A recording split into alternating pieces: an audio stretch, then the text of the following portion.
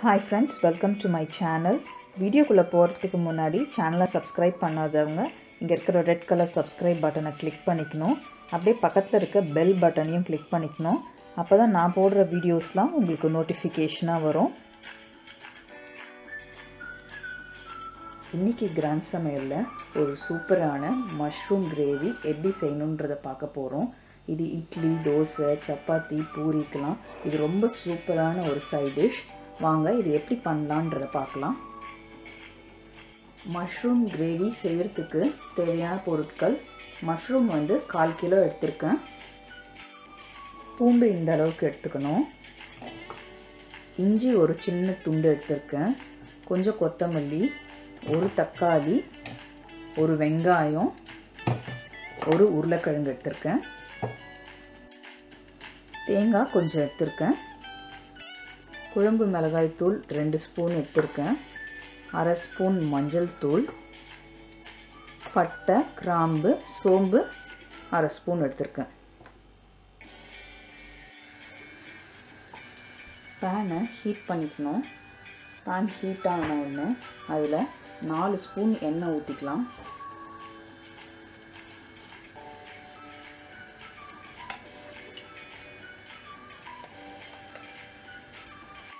எண்ணெய் காஞ்ச உடனே பட்டை கிராம்பு சோம்பு அதை போட்டு இதை நல்லா வதக்கிடலாம்.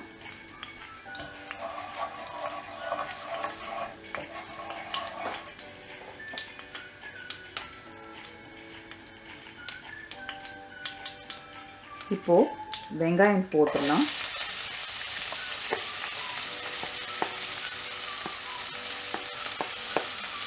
வெங்காயம் போட்டு இது நல்லா வதக்கி விடணும்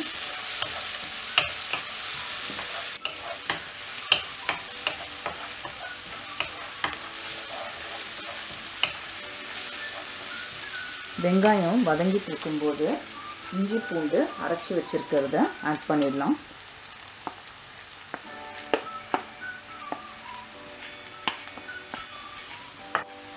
இஞ்சி பூண்டு ஆட் பண்ணிவிட்டு இதை நல்லா வதக்கி விட்டுடலாம்.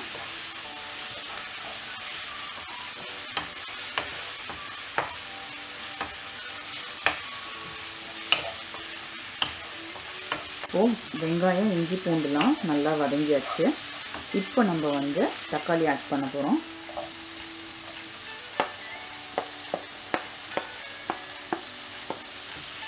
தக்காளி ஆட் பண்ணிவிட்டு நல்லா வதக்கி விட்டுடலாம்.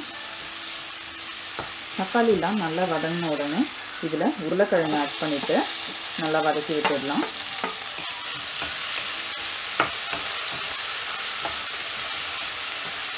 இப்போது மஷ்ரூம் போட்டு நல்லா ஃப்ரை பண்ணலாம்.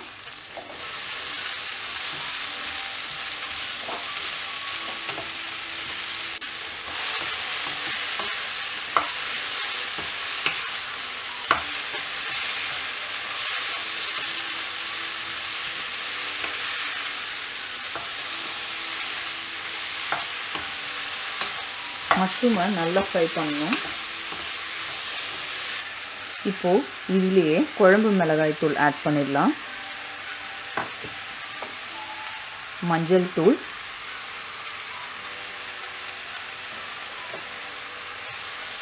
நல்லா ஃப்ரை பண்ணிடலாம்.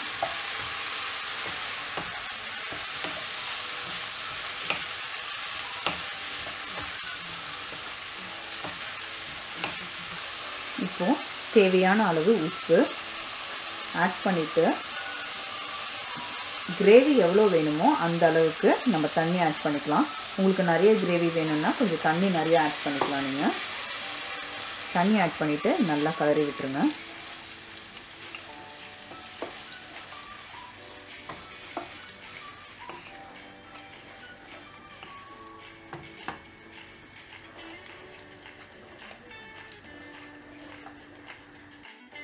இப்போ இந்த கிரேவி வந்து நல்லா ஃபிஃப்டீன் மினிட்ஸ் கொதிக்கணும். இதில் இருக்கிற உருளைக்கிழங்குலாம் நல்லா வேகிற அளவுக்கு இதை நல்லா கொதிக்க வைக்கலாம்.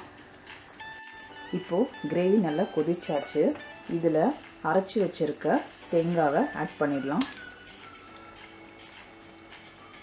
ஆட் பண்ணிவிட்டு நல்லா மிக்ஸ் பண்ணி விட்டுடலாம்.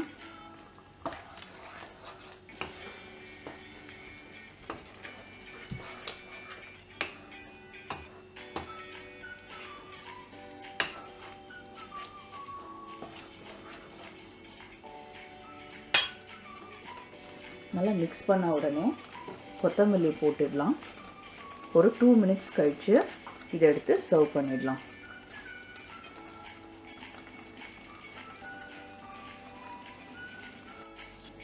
மஷ்ரூம் கிரேவி ரெடி ஆயிடுச்சு.